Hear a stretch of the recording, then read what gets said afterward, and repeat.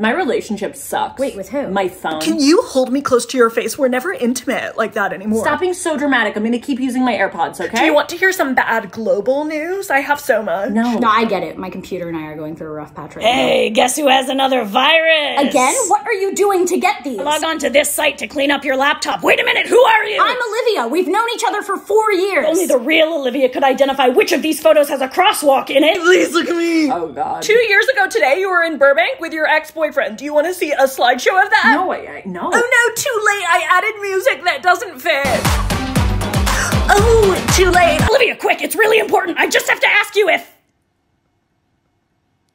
Are you seriously freezing right now? Guess what? I just deleted everything important to you. Oh, Sydney, look at me. Eyes over here. Pay attention to me, not your family. You do not understand boundaries. You know you can improve your relationship with technology with Felix Gray blue light glasses. Oh, that's better.